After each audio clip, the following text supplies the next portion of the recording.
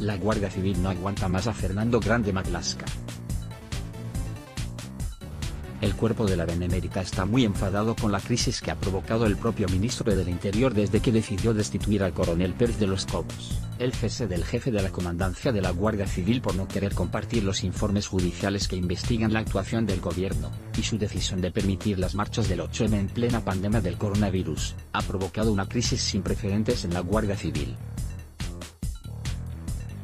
Tras fulminar a Pérez de los Cobos, se produjo la dimisión del teniente general Laurentino Ceña, número 2 de la Guardia Civil hoy miércoles, se ha confirmado una nueva destitución, la del teniente general Fernando Santa Fe, número 3 del cuerpo.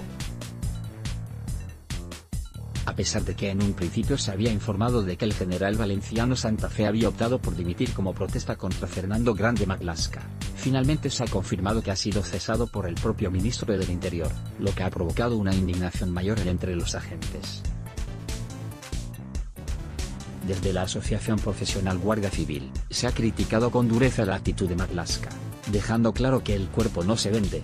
Desde Jufil también han denunciado que Fernando Grande Maglasca se haya saltado el escalafón para poner al frente de la Guardia Civil un mando afín. El ministro dejó de lado a los tres tenientes generales e ignoró una tradición que despolitizaba la institución.